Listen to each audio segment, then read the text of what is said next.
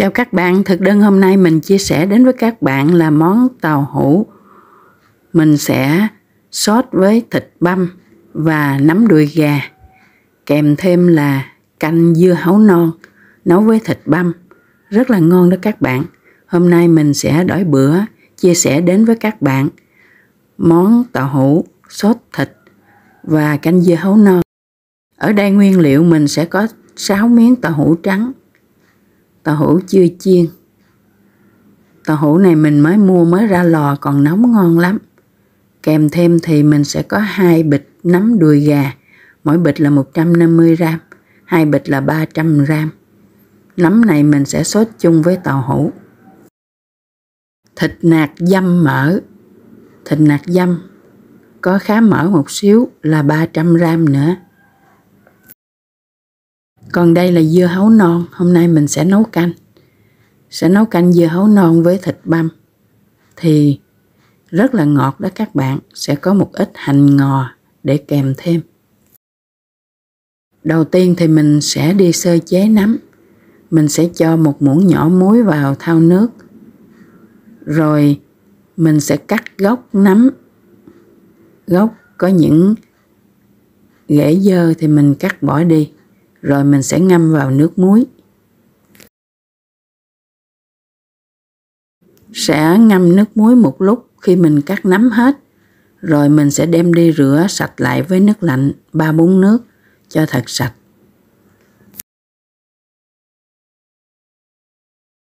Sau khi rửa sạch nấm thì mình sẽ bỏ ra rổ cho ráo, rồi mình sẽ cắt nấm ra.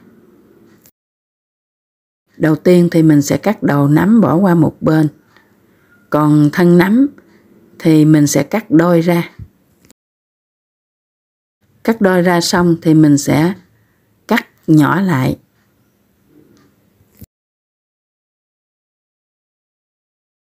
Đầu nấm thì mình cũng sắc lại nhỏ như vậy.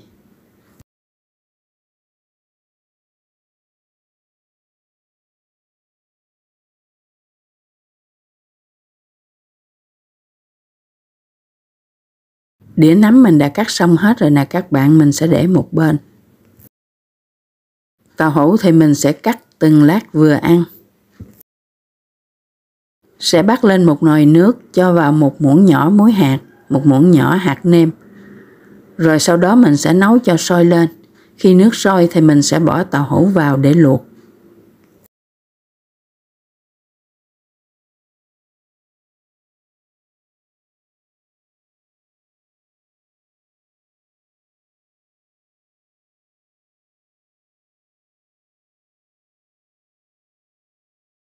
Khi tàu hũ sôi lên, thấy chín, miếng tàu hũ dai đi thì mình sẽ vớt ra đĩa.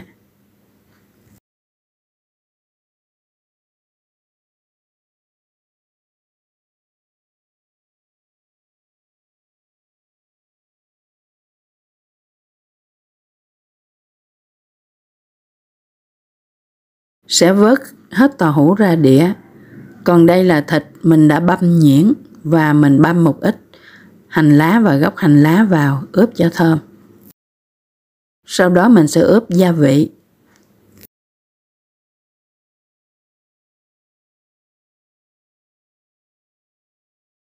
Sẽ cho một muỗng nhỏ tiêu xay, một muỗng nhỏ hạt nêm,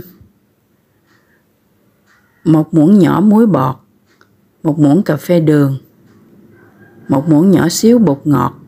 Sau đó mình sẽ trộn đều lên cho thấm gia vị, rồi mình sẽ để một lúc.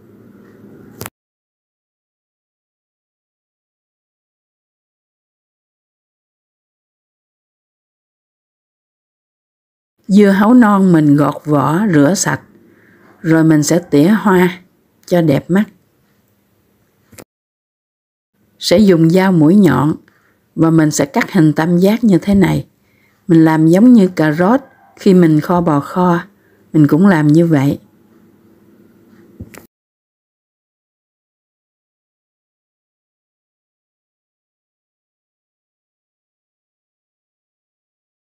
Sẽ cắt tách ra từng miếng như thế này nè các bạn.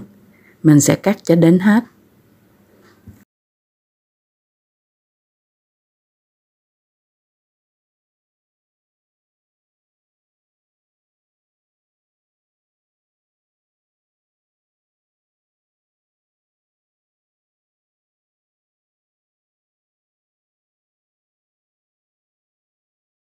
Dưa hấu mình đã cắt xong, mình sẽ chuẩn bị nấu canh.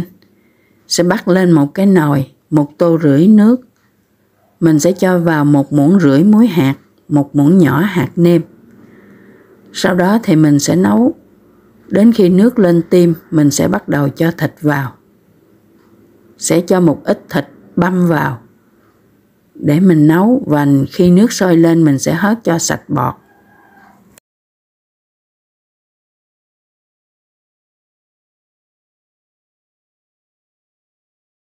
Sau khi thấy thịt đã chín thì mình sẽ cho dưa hấu vào. Dưa hấu này cũng rất mau chín. Sẽ sôi lên một lúc là chín. Các bạn đừng để rụt nhé. Vừa chín tới là được.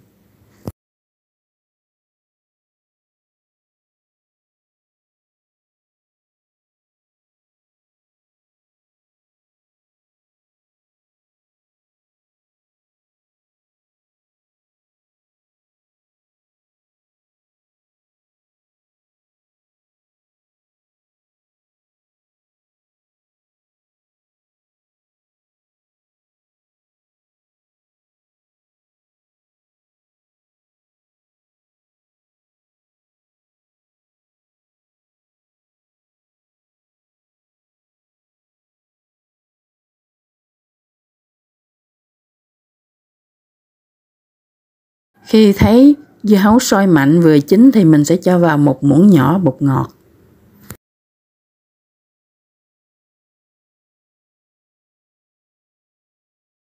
Kế đến là hành ngò, mình đã sắc nhỏ, mình sẽ cho vào canh. Chừa lại một phần để mình cho vào tàu hũ nhé.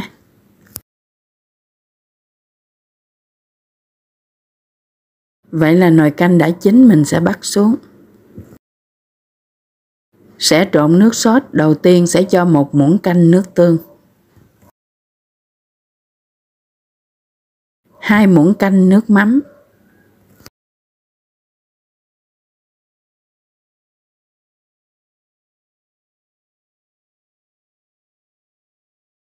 Hai muỗng cà phê đường. Một muỗng nhỏ hạt nêm. Một muỗng nhỏ xíu bột ngọt một muỗng nhỏ tiêu xay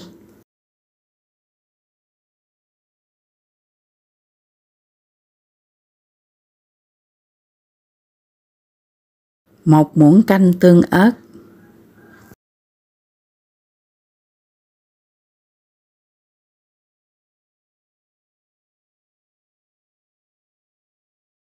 Một muỗng canh tương cà.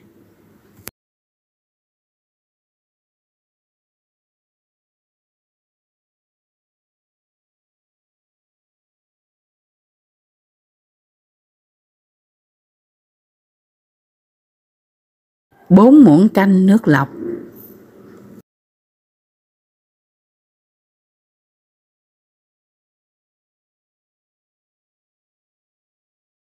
Sau đó sẽ trộn đều cho hỗn hợp gia vị được tan ra. Rồi mình sẽ để một lúc. Mình sẽ bắt lên một cái nồi, cho vào hai muỗng canh mỡ nước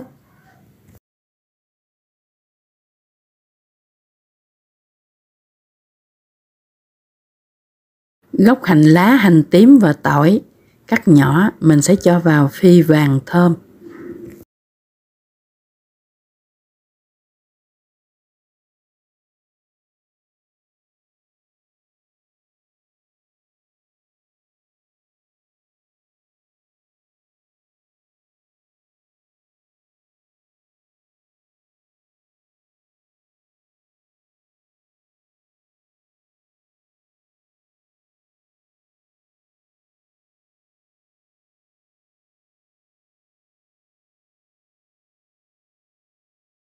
Khi hành tỏi vàng, mình sẽ cho thịt băm vào để xào.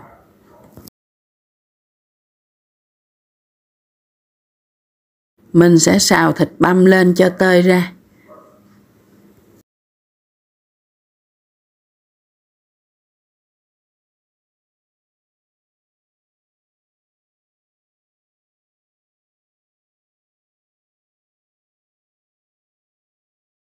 Kế đến mình sẽ cho nấm vào luôn, để xào chung với thịt.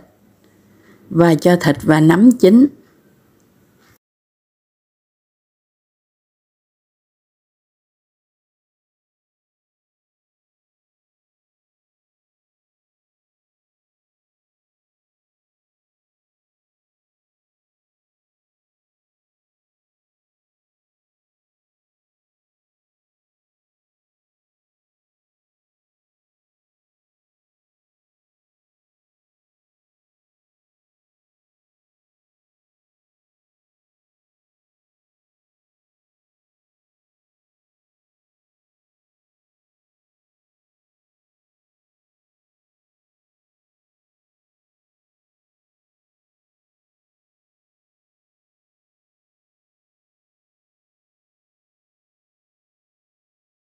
Mình sẽ cho thêm một muỗng canh lưng màu dầu điều. Màu dầu điều thì mình đã thắng để sẵn khi làm món ăn thì mình sẽ cho vào.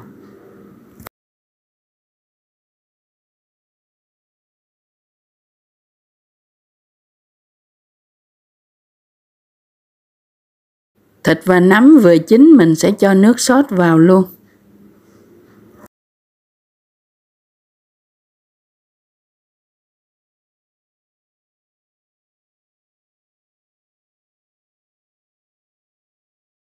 Sẽ xào thịt, nấu nước sốt cho sôi lên.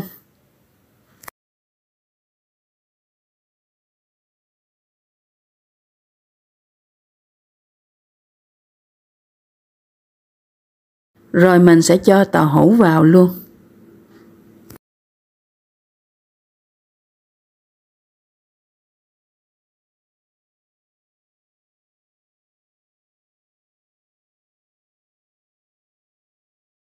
Sẽ trở bề nhẹ nhàng cho tàu hũ thấm nước sốt, gia vị.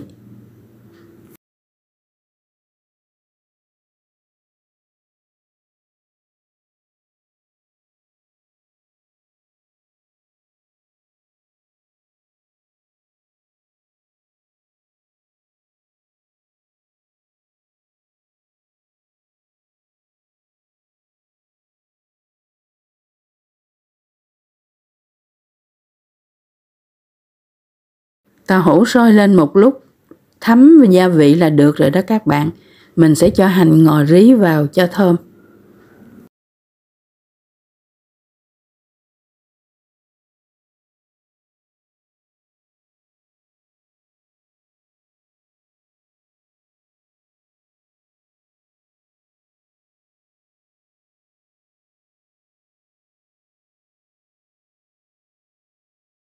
Rất là thơm và ngon lắm các bạn rất là vừa vị